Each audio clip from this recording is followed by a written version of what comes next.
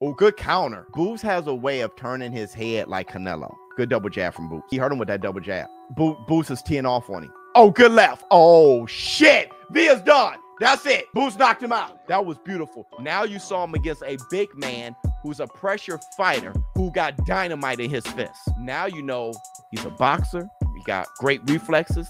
He's fast, he's slick, high IQ, and he's a fighter too. And Villa was the one who let me know what kind of chin Boots has, what kind of fighter Boots is. Not boxer, fighter. That's all I need to know.